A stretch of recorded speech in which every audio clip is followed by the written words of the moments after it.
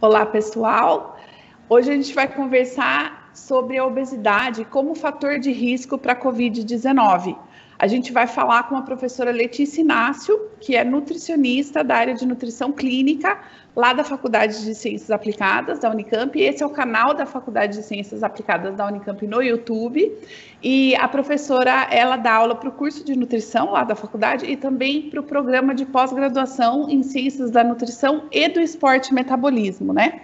E ela é membro do Laboratório de Estudos, não, Laboratório é, de, de do LabD, né? De, do Distúrbios do Metabolismo. LabD, Laboratório de Distúrbios do Metabolismo. Então, eles estudam os distúrbios do metabolismo. E a obesidade é um distúrbio do metabolismo. Enfim, a gente vai conversar um pouco sobre isso então nesse vídeo. É, professora, obrigada pela entrevista. E... Que agradeço.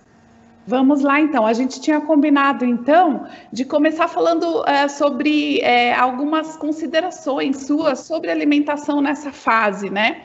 Porque é, o que, o que, que você acha ideal da pessoa fazer nessa fase, enfim, se é bom, se é uma fase boa para fazer dieta restritiva, né? E aí a gente vai continuando a nossa conversa aí, depois da, dessa tá bom. tua fala. Bom, obrigada de novo, né, pela, pela oportunidade, pelo convite. Então, é, nessa fase, a gente está numa fase muito difícil, assim, é, embora a gente esteja realmente em isolamento físico, né, e existe essa discussão, inclusive, de isolamento social ou físico, o, o humano é uma pessoa, é um, um ser sociável, né, então a gente está em isolamento físico mesmo, e é um período muito complicado, existem muitas pessoas que conseguem ou não, podem ou não fazer isolamento, quarentena, que estão sozinhas, que estão acompanhadas, então, é um momento é, que não é para a gente fazer alterações significativas, assim, ou que impactem na nossa saúde nutricional, porque ela vai impactar diretamente na nossa imunidade ou na forma como a gente vai reagir a infecções, a doenças.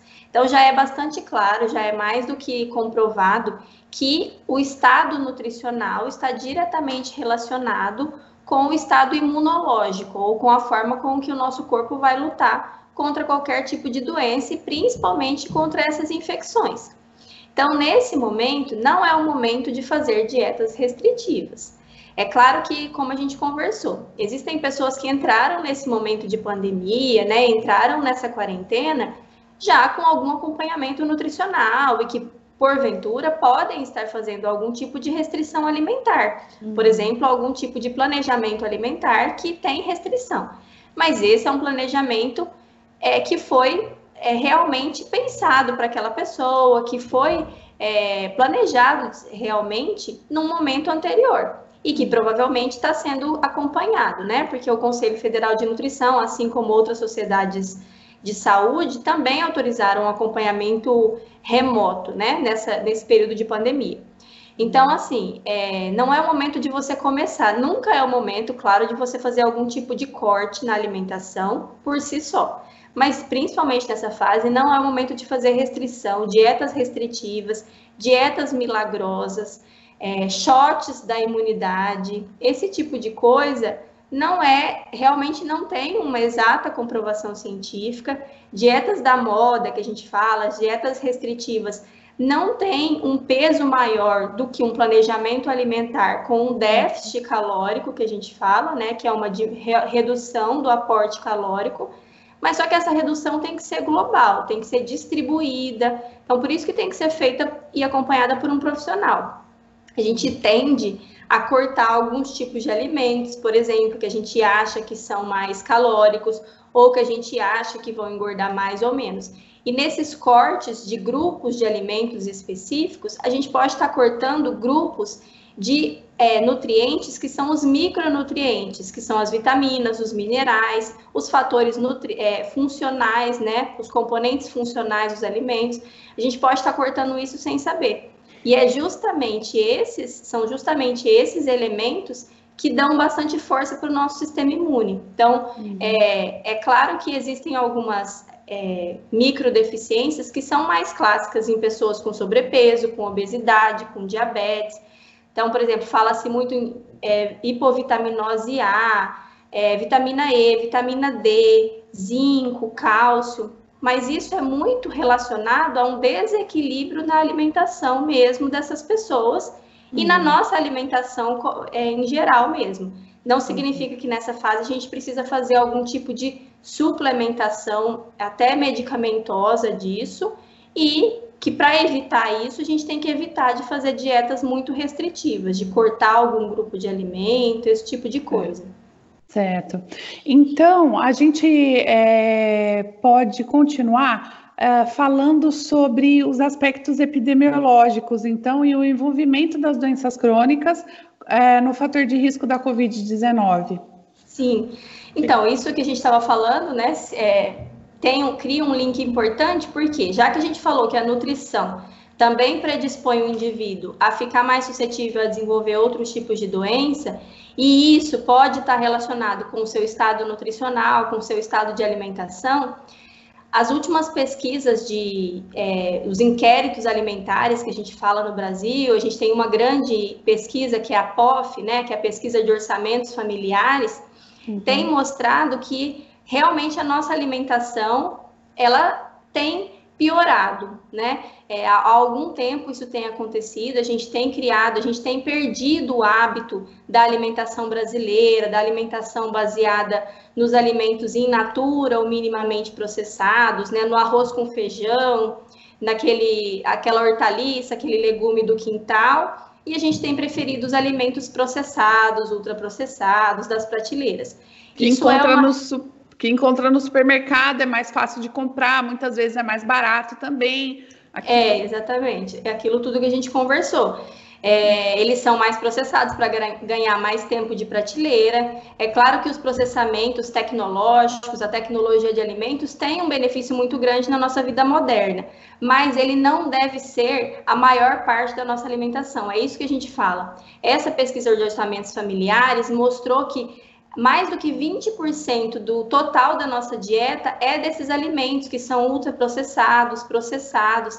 Então, isso é bastante coisa. Apesar da gente ter quase 40%, 50% de alimentos in natura, isso aumentou realmente durante o tempo, a gente ainda tem a outra metade ainda de muitos alimentos que são processados, ultraprocessados e até de bebidas. A gente tem uma grande porcentagem do consumo as pessoas gastam muito o seu orçamento, né, do consumo alimentar com bebidas açucaradas. Então, isso também é, é um fator que, que predispõe ao desenvolvimento de doenças crônicas. E aí a gente chega no nosso, no nosso próximo ponto, que é justamente essa. Então, a gente vê que o perfil alimentar, né, de consumo alimentar do brasileiro, também predispõe a gente ter uma população que tem uma, um ciclo de doenças metabólicas muito prevalente. Então, hoje, a gente, mais do que 50% da nossa população, chega até 58%, dependendo do sexo, tem algum grau de sobrepeso ou de obesidade. Então, então Uhum. Não, então, aí é, eu, você está falando, eu estou pensando aqui. É, a, cai naquele assunto também que a gente estava discutindo, que a obesidade é, é, tem fatores sociais muito importantes aí, né? A força da indústria alimentícia, porque 58% da população, é, não dá para a gente pensar que 58, é 58, né, que você falou? É, dependendo ah. do sexo, sim. Então, 58% da população é gordo porque quer né? Sim. Porque a gente tem também na nossa sociedade, né, muito dessa dessa culpabilização, individualização do problema. Não, a pessoa é gorda porque ela quer, ela é doente porque ela quer, ela é um problema de saúde pública porque ela quer, né? Sim. Ela, né? Então, não queria que você comentasse sobre, sobre isso também. Não, completamente. Então, até por isso a gente, eu acho que realmente essa é, esse comentário que a gente fez sobre o tipo de alimentação e essa ligação exata, né, com, com a, o perfil epidemiológico, traz muito disso. Não, é, a gente não consegue estabelecer uma razão, uma razão muito exata, né, uma relação exa muito exata só com o distúrbio fisiopatológico da obesidade. Claro, a obesidade, como a gente falou, e esses 58% não são exatamente pessoas obe extremamente obesas. Como eu falei, tem algum grau de sobrepeso, né? Então, é, elas estão com peso além, aumentado, do que ela, aquelas pessoas que a gente chama de eutróficas. E a cada ponto que a gente vai aumentando no peso, a gente aumenta o risco para desenvolver outras doenças. Mas é claro que isso tem uma relação social muito importante. Então, como a gente conversou, a obesidade é uma doença, ela tem CID, né? E, e a criação desse CID, né? O estabelecimento desse uhum. CID, desse Código Internacional de Doença, eu, eu, imagino que isso tenha ajudado, né, tenha é, evoluído em muitos aspectos com relação a, a políticas públicas, com relação a até a aplicação de recursos mesmo para estudo. Mas é claro que isso também traz um estigma, como a gente falou. Existe um estigma também por trás da obesidade e ela não é só uma doença que é por algum distúrbio que você consegue exatamente controlar. Muito pelo uhum. contrário, a gente tem alguns estudos, inclusive do Centro de Pesquisa em Obesidade e Comorbidades, né, que a gente faz parte, que é a sede lá em Campinas, que mostra que mesmo indivíduos que perderam peso por cirurgia, então, por exemplo, eles é, foram obrigados, vamos dizer assim, né, biologicamente, eles perderam peso mesmo, mesmo assim, o sistema nervoso central deles não voltou a atuar como uma pessoa com aquele mesmo peso que nunca foi obesa. Então, existem alguns componentes que são alterados, mesmo no sistema nervoso central, no sistema de recompensa dessas pessoas, e no próprio, no próprio relacionamento social, psicológico dessa pessoa. Então, eu concordo. Existe um componente social, psicológico muito importante e totalmente associado com o componente biológico da obesidade. Uhum, muito bom. E aí você quer falar alguma coisa mais sobre os aspectos é, epidemiológicos ou a gente já pode passar para os aspectos fisiopatológicos, então relacionados à obesidade, hipertensão e, e diabetes e por que que eles explicariam é, os fatores de risco para a COVID? É, então, sobre os aspectos epidemiológicos, eu acho que isso está muito documentado, né? Só para a gente comentar mesmo, como a gente já falou, existem muitos estudos, a gente tem visto muito, é, até o próprio, o próprio, esse centro de pesquisa lá já publicou uma nota mesmo falando que o maior fator de risco para a COVID ou é, para a evolução né, do prognóstico ruim da COVID são as doenças crônicas, obesidade, diabetes e hipertensão. Uhum. E isso se correlaciona muito, infelizmente, com o perfil no, é, epidemiológico da nossa população. Então, uhum. é, os estudos, esses estudos de perfil nutricional, de perfil epidemiológico, vieram principalmente dos doentes de outros países. Os estudos brasileiros estão acontecendo agora, mas um da Unifesp já, inclusive, confirmou esse mesmo perfil. Então, mostrando que a obesidade é fator de risco, diabetes, a hipertensão, a idade também é um fator de risco, então pessoas acima de 65 anos, mas também que no Brasil a gente tem um perfil, infelizmente, de pessoas acometidas que são mais jovens. Então, cerca de 48%, segundo esse estudo da Unifesp, no primeiro mês de infecção no Brasil, quando a gente não tinha esse número tão grande como a gente tem hoje, cerca de 48% eram de pessoas entre 20 e 39 anos, por exemplo. E isso os pesquisadores até comentaram que pode ser justamente por causa do nosso perfil da população, que nessa faixa etária a gente já tem pessoas com desenvolvimento de doenças crônicas. Então, até por isso também que a idade é um fator de risco importante. Por isso que a gente fala tanto dos idosos, porque com o passar da idade, a gente já acumula realmente mais fatores para desenvolver essas doenças crônicas. Uhum. Então, se só se a doença por si já é um fator, com a idade esse fator se potencializa, né? Certo. Então, todos esses fatores, essas doenças, têm relação estreita não só com a COVID, com a, a, o fator para infecção, mas para a evolução da doença e para o prognóstico ruim. E isso já foi confirmado nos pacientes brasileiros. Uhum. E assim, por que, que isso tem uma relação? Existe uma relação é, estreita com essas doenças crônicas de uma maneira geral, porque é, é um, é, essa é uma doença, aparentemente, a, a, alguns estudos, os primeiros estudos mostraram que os pior, as piores evoluções tinham muita relação com o estado inflamatório da pessoa. Então, Sim. tinha relação com marcadores inflamatórios muito alto. E classicamente a obesidade, o diabetes, a hipertensão são doenças que levam a um tipo de inflamação. Não é uma inflamação exacerbada, por exemplo, não é aquela inflamação que a gente está acostumada classicamente de febre e tudo isso, uhum. mas é uma inflamação que a gente chama de crônica e de baixo grau. Sim. E aí.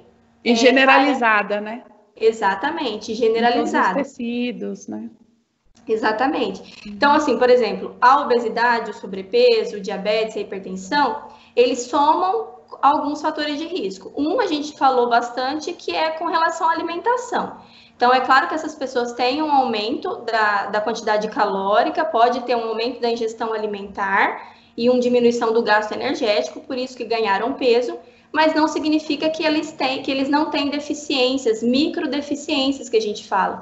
Então é muito comum pessoas com doenças crônicas, mesmo com excesso de peso, ter deficiência de alguns microelementos. Então, o estado nutricional por si, alimentar, a circulação de nutrientes por si pode potencializar.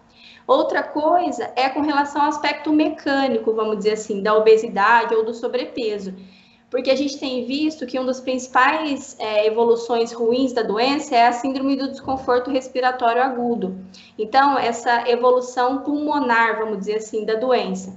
Uhum. E a, o paciente obeso, né, vamos falar do obeso exatamente, ele tem uma dificuldade já de respiração, ele já tem uma dificuldade por uma dificuldade mecânica, né, por uma dificuldade de vencer a resistência do excesso de peso e de todas essas alterações. Uhum. Além disso, o obeso pode ter uma menor força muscular também. A gente tem é, estudos que mostram que existe uma relativa sarcopenia que a gente fala, que é um pouquinho Sim. de perda de massa e de força. Então, para a gente respirar, a gente precisa de uma força, de um músculo importante, do diafragma, dos músculos intercostais, de tudo isso. Então, existe também esse aspecto mecânico. O obeso por si só, uhum. ele respira pior, né? Ele tem um problema. Isso aumenta o risco de gravidade para pacientes com Covid. E além disso, tem é, os processos fisiopatológicos que a gente fala. Então, por exemplo, é, existe uma relação importante entre os processos imunológicos e os processos metabólicos. Então, a gente já sabe que as doenças metabólicas estão diretamente ligadas com a imunologia, muitas vezes dificultando é, a, o recrutamento de, do componente que é anti-inflamatório. Então, por exemplo, quando a gente está tentando lutar com uma inflamação, a gente tem a inflamação, mas o nosso sistema ativa um componente anti-inflamatório para combater aquilo. E a gente tem algumas dificuldades nas nossas células é, com a obesidade, com o diabetes, de combater isso. Uhum. Além disso, existe um, um, um, componente importante que alguns estudos têm mostrado, que é até uma como se fosse a relação da porta de entrada tem uma proteína, né, uma enzima, que é muito expressa em indivíduos obesos, que ela é mais expressa do que nos indivíduos normais, que ela está relacionada com a regulação da pressão arterial. Uhum. E essa proteína, a estrutura dela, não a função exatamente, mas a estrutura dela, a forma como ela é formada mesmo, ela é um fator de ligação e de entrada para o vírus. Então, essa é, ela chama ACE2, né? Essa proteína especificamente, mas enfim, ela está mais expressa em indivíduos obesos, indivíduos hipertensos que precisam fazer controle de medicação, com medicação para hipertensão, ela também fica aumentada como um mecanismo contrarregulatório. Então, por isso, essas pessoas talvez até teriam mais facilidade da entrada desse vírus. Entendi. Tem também, é, tem uma outra proteína que é envolvida com o diabetes. O diabético tem uma alteração de uma determinada proteína, que a gente é a DPP4, que também alguns, alguns trabalhos anteriores mostraram que ela tem relação com a entrada de vírus semelhantes ao vírus do, do SARS-CoV-2, né, o da COVID. Então, então, são proteínas que estão mais presentes no corpo de quem está uh, com obesidade, né? Que é diferente de sobrepeso. Ou como que é isso? São os graus diferentes de obesidade? Os estudos também consideraram isso? Foram com, com obesos mórbidos? Como que foi isso? É, É, então, com relação às proteínas, sim, são proteínas que estão amplamente expressas nos tecidos, estão distribuídas no tecido e por uma alteração fisiopatológica da doença ou por alguma alteração medicamentosa que precisa ser controlada na doença, elas estão mais expressas, por exemplo, e nesse caso facilitaria a invasão viral ou a replicação, a, a, a evolução da doença. Mas é claro que quando a gente fala em relação a, ao, a, ao grau de obesidade, existe uma. É, é, é, muito difícil. Esses estudos moleculares, né, esses estudos básicos, como o estudo que a gente faz no LabDIM, são estudos experimentais, a maior parte dele. É claro que vários já foram comprovados em estudos com humanos, uhum. mas a maior parte deles são experimentais. Então, são desenvolvidos em animais experimentais que são uhum. submetidos à dieta ou algum fator que induz a obesidade, e aí a gente pode estudar melhor como funciona o mecanismo. Então, é, é um pouco difícil a gente transpor exatamente da, da obesidade experimental para a obesidade humana. Mas é, a, a, gente já sabe que, claro, os graus de comprometimento da obesidade vêm quanto maior for a, a, a desregulação, vamos dizer assim, ou o distúrbio que ele desenvolve no próprio metabolismo. Então, é claro, aquela pessoa que tem algum grau de sobrepeso leve, que, né, que não tá, que acha que não está no seu peso ideal, não é exatamente aquela pessoa que tá, não é isso que a gente está falando, não é isso que vai aumentar isoladamente o fator de risco.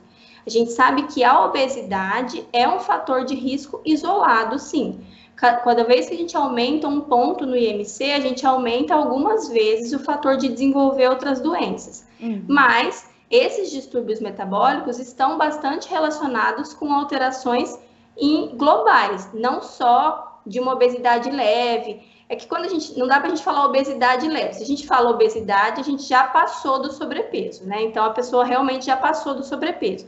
Mas em geral esses estudos são feitos com modelos de obesidade mesmo. Uhum. É, alguns deles mostram que essas alterações, como a gente falou, é, ah, existe o obeso metabolicamente saudável, né? Sim, é isso que eu ia te perguntar. Do obeso metabolicamente saudável e do magro metabolicamente desequilibrado, né? Porque a gente Exato. não pode, a gente tem que saber que é, às vezes não é porque, porque o, a pessoa está com sobrepeso ou a pessoa é gorda que ela é é, que ela tem um problema metabólico sério, não sei, aí, ou, ou que é, ou ao contrário, porque a pessoa é magra, ela é saudável, né? Necessariamente. É. A gente tem é, é, é, a maior parte, como eu falei, desses estudos moleculares que mostram alvos específicos, que mostram alterações fisiopatológicas específicas, celulares, moleculares, são experimentais. Então, ao, ao, passo que a ciência vai evoluindo, a gente vai conseguindo transpor isso mais facilmente para os modelos humanos. Mas é claro que, assim, é, existe muito essa discussão se existe o obeso metabolicamente saudável. O que existe? Existe uma pessoa com sobrepeso ou com algum ganho de peso que não tem outras comorbidades e que não expressa essas alterações. Então, que não tem alterações clínicas, metabólicas importantes. Mas que não tem diabetes ou que não tem hipertensão. Não tem hipertensão, por exemplo. É, não tem a glicose alta no sangue, a pressão não se altera. Mas o próprio ganho de peso, a gente sabe que o ganho de peso excessivo traz um prejuízo que às vezes é mecânico, como eu falei. O primeiro fator que eu falei que predispõe é o, o fator mecânico, né, da complacência pulmonar do obeso. Então, uhum. além desses distúrbios metabólicos e clínicos, né, a gente tem distúrbios mecânicos também. E também o que a gente tem visto é que, é, nos estudos experimentais, principalmente, e em alguns estudos com humanos também, mesmo na ausência de diabetes, de hipertensão ou até de uma alteração da glicose, já existem essas alterações moleculares prévias. Então, uhum. essas alterações moleculares prévias podem não se expressar, podem não alterar o que a gente chama de fenótipo, ou como o indivíduo vai estar se expondo clinicamente. Mas elas já existem, e só delas já existirem, elas podem evoluir mais rapidamente para uma complicação. Então, o controle de peso é um fator importante, mas é claro que a gente não está aqui para cultuar a magreza, né? Existe uma, um controle e uma, um, uma faixa de extensão amplamente saudável para os indivíduos. Uhum. Muito bom. Então, professora, para a gente concluir, que a gente está aí com uns 25, quase minutos de entrevista, passa bastante Passou rápido. muito rápido. É.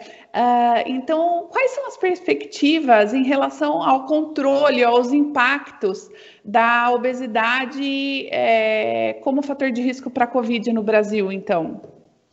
Então, é, como eu, a gente, eu falei de algumas moléculas, algumas coisas que estão aumentadas ou não na obesidade, e essas pessoas têm, têm sofrido mais, têm aumentado o número de mortes, têm criado mais é, formas severas da doença. Por que, que a gente não consegue bloquear isso relativamente, é, diretamente? Né? Se eu sei, eu falei o nome da proteína, se eu sei o nome dessa proteína, por que, que eu não consigo usar a mesma coisa que você usou lá na célula e mostrou que bloqueou a invasão do vírus, por que, que eu não consigo dar para essas pessoas, né? Então, isso do Como remédio, vista... né? Você está dizendo. Exato, como remédio, como mesmo oral ou por infusão. Isso do ponto de vista biológico é muito difícil, assim. A gente, imagine para a gente chegar num remédio é, para a gente realmente fazer uma molécula que consiga ser colocada num medicamento, seja infundido, seja oral, até chegar no nosso alvo, ela é muito, ela vai passar por uma série de locais, ela vai passar por um sistema completo. E aí muitas dessas, inclusive essas proteínas que eu falei, elas são amplamente expressas. Estão expressas na mucosa nasal, na mucosa oral, no intestino, no pulmão, no, no tecido adiposo. E muitas vezes, em cada um desses locais, ela tem uma ação específica, mesmo sendo a mesma formação é, geral da proteína. Então, quando a gente faz um medicamento que é direcionado a algum alguma área específica, a gente tem que prever que ela vai ter efeitos contrarregulatórios ou colaterais em outras áreas do corpo. Então, por isso que é tão difícil, assim, mesmo a gente tendo tanto estudo básico, tanta tanto estudo de base mesmo para entender essas moléculas, para a gente criar algo que seja sistematicamente eficaz, é muito difícil. Estudos de, de fármacos, né, de, de para criar novos fármacos, demoram 10 a 15 anos. O que a gente tem hoje é o reposicionamento de fármacos. Tem uma grande, um grande incentivo, inclusive é, mais de um edital do Ministério da Saúde, junto com o CNPq, FAPESP, essas agências de fomento, tem criado editais específicos e um deles é para o estudo de reposicionamento de fármacos. A Unicamp mesmo está participando disso com a Força Tarefa, né? Então, esses fármacos são fármacos, fármacos que já estão em uso, né? Que já foram aprovados, que já passaram por todo aquele rigor científico, metodológico, e que eles podem ser utilizados nos pacientes com Covid, né? Com complicações ou não, mas conhecendo essas alterações moleculares, eles podem ser aplicados para tentar sanar essas progressões, essa progressão, né, esses efeitos de progressão da doença. Então, muitos já estão sendo utilizados, você já deve ter visto várias notícias, a gente tem vários é, problemas, né, com alguns deles e tal, mas, enfim, o que tem sido utilizado hoje, né, a parte biológica de tratamento, mais rapidamente é, aplicável seria o reposicionamento de fármacos.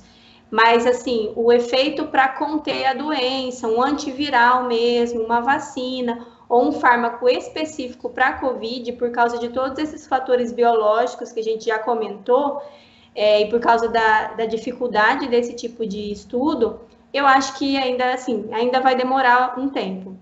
A gente consegue, com esses reposicionamentos, talvez em algum futuro próximo, controlar alguns fatores de progressão pior da doença, mas para combater a doença em si, né, a infecção viral, isso ainda leva bastante tempo. Então, como a gente sabe que a obesidade, as doenças metabólicas são um fator de risco, isso acho que reforça também a nossa questão da, da, de um olhar para a nossa saúde, de um olhar para o cuidado da nossa população no sentido de tentar minimizar esses problemas de saúde, porque é, outros problemas adicionais podem vir e essas pessoas, como a gente está vendo, têm um fator de risco aumentado. Legal. Então, muito obrigada, professora, pela entrevista e pelo seu tempo e até uma próxima. Eu que agradeço pela oportunidade e me coloco à disposição. Obrigada, Cris. Até mais, Letícia. Se cuida aí. Você também, se cuida. Tchau, tchau. Até mais. Tchau, tchau.